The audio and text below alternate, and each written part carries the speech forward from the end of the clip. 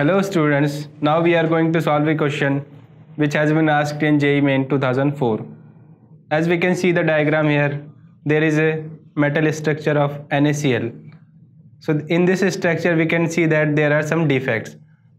It means there are some kind of missing of atoms. So as we can see that there are four missing atoms, this, this, this and this also we can see a regular pattern of NaCl structure which says Na plus Cl minus Na plus Cl minus. So this is the regular structure. At alternate place Na will be occupied and Cl will be occupied next to it. So in this diagram we can see that so there are four total atoms are missing so here there should be Na positive ion which is missing. Again here one Cl minus atom is missing.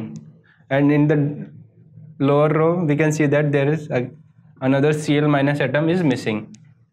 And in the middle of these two Cl minus atom there is one sodium plus ion is missing. So as we can see there are total two sodium plus atom missing and there are total number of two chlorine atom are missing. So from this we can infer that this is a Schottky defect in crystal structure. See this is the thing which Schottky the scientist discovered very earlier. So we have got the correct option which is B Schottky defect. Thank you students.